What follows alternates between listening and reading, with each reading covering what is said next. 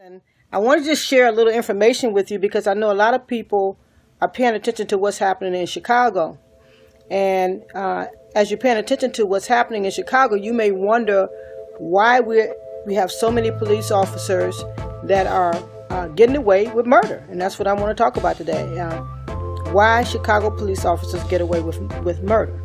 Now, again, I'm a state senator, so I don't, you know, I don't have as much um, say so in, in, in how things are are set up in the city of Chicago, but I'm uh, being a state senator. What my job is really is to create legislation to help to improve people's lives. So I'm moved by the fact that we have all these murders and all this misconduct by police. And because of that, I've been researching, trying to find out okay, why do these cops keep getting away with murder? What is it that can be done to stop them from, um, you know, being able to just murder people and, and walk away and, and, nothing happens to them? And then a lot of times we have uh, the other, um, the other uh, police officers that are working with the police officers that kill people and they help them get away with murder. So I think it's our job as uh, just as citizens, to uh, learn as much as we can and do what we can now to improve the lives of the people um, that, that have, have to reside in, the, in these cities and places where we have cops getting away with murder. Now, you all may have heard about Laquan McDonald and how he was shot 16 times, and in those 16 times he got shot, uh, there were other officers there, and nobody uh, came forth to say, uh, at least we didn't hear of anyone coming forth to say, you know what, uh, Van Dyke actually murdered Laquan McDonald. Nobody said that. The only thing we heard was that uh, he was that Laquan McDonald was wielding a knife. Well, why did all the officers that were there and watched Van Dyke shoot uh, Laquan 16 times?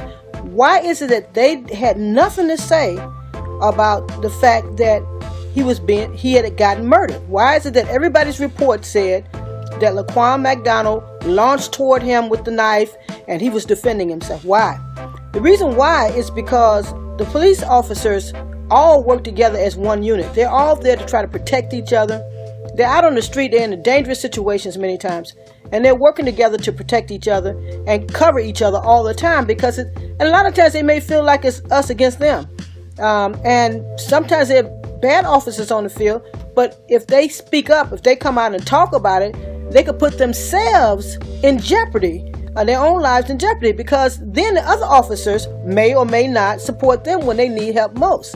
And they don't want to end up in some alley shot to death or beat to death by someone uh, while the other officers sit back and do nothing. So, the vast majority of the police officers in Chicago are good officers very good officers that are committed to protecting and to serving. But we have some, a few, not that many, but a few that is simply focusing only on, um, you know, actually getting their job done. I guess that's the way they see it at any cost, no matter whose life it costs.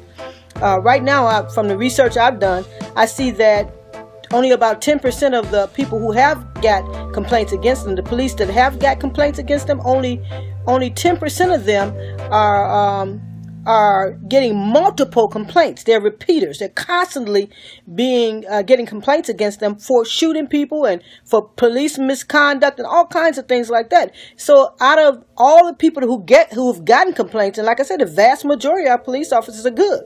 Uh, we have 10% of those that are uh, getting the most complaints, and they're getting them over and over and over again, and they're being harbored and they're being protected uh, by innocent police officers who are just a part of the system.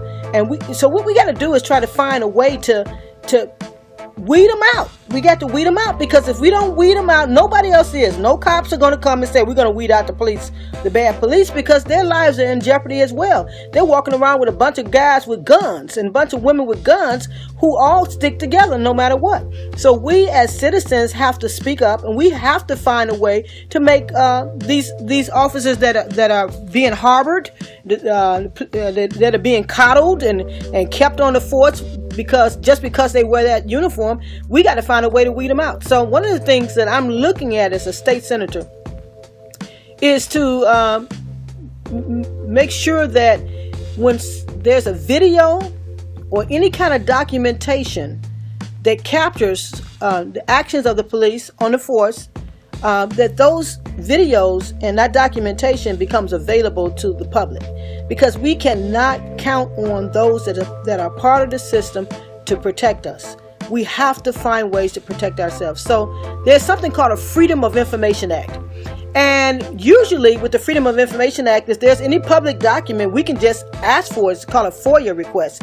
We can FOIA uh, and request um, the video or the body cam recording or whatever. But when it comes to police shootings, many times those are considered exempt because they say it might impede a fair trial or it may cause people who are not shouldn't be a part of this case and they end up being brought into um, brought into the case as well. And so we want to be sure that we protect the innocent. So we don't want to allow that uh, that video to to uh, be released. And that's what happened with Laquan McDonald. They didn't let it. They didn't. They didn't. They didn't release it. They said it was exempt and it, it, took a court order in order to have it released. Well, the bill that I'm presenting now, Senate Bill 2210, what it would do is it would require that if a police uh, or the agency believe that the police recording should be exempt, then they have to get a court order. If they don't have a court order saying it's exempt, they have to release it. And that's going to help us to get access to more information. But that's not going to solve the problem. You know, we have to do a lot of different things to solve the problem. It's gonna, what that's going to do is give us information. But still, you know, even now they destroy the records. If a police has a, a, a, complaint against them for misconduct or some kind of allegation, those complaints are only kept for a few years and then they're destroyed. So you may find out maybe 10 years from now, do, through DNA or whatever else we come up with to, to, find, help us to solve crimes, you may find out that, you know, in, in reality, uh, this guy was innocent. And um, and when we go back to look at the police records about it, they've been destroyed already. So one of the bills that I'm supporting now and pushing now is that no records are ever destroyed if, if there's a complaint against an officer. Because we have to trust our police officers. We have to feel safe when they come around.